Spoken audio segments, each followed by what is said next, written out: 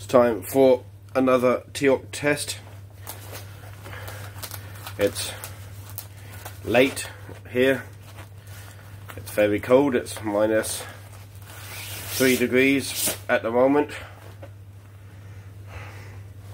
We got new firmware for the TiOC Pro. So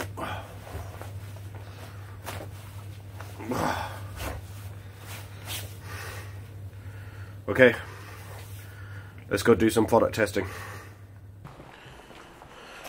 Okay, it's absolutely freezing outside. It's I can see from our monitor already. This is an excellent demonstration, um, and I think I've waited 20 years in my working career to, in fact, actually say the following line: We are illuminated by moonlight. So there we go, up there. That's it.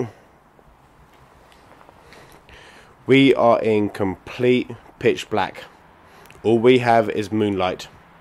I can see from the monitor back there, we can see everything. It's, it's currently minus 4 degrees. It's nearly midnight.